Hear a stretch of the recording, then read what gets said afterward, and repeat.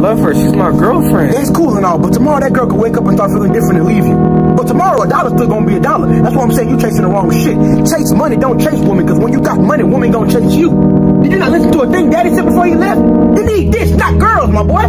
Money is everything to me. You know what I'm saying? Like without money, a lot of stuff won't go go on. You know what I'm saying? Yeah. A lot of stuff. So with that being said, you know I gotta get it. And when you get in a certain position, you can't go back to a certain position. Stay focused and stay in the studio, stay working, stay grounded, stay humble, keep making money and stack it high as you can stack it, no matter what anyone around you say. Nigga, I got so coming many like this. businesses. That's Because that, I'm a fucking bona fide hustler. I'm trying to be a billionaire. Why don't you have that many businesses? Niggas in the hood is fucked up on Section 8. I came from the bottom of the bottom, nigga. I came from soldier bot. No, listen. I came. You trying to play and it's not a joke. I No, came no, from no, no, Section no, 8. seriously. I came from the lights being cut off when I was a little kid when I was in the house at nighttime. I came from waking up on Christmas and not having shit under the tree.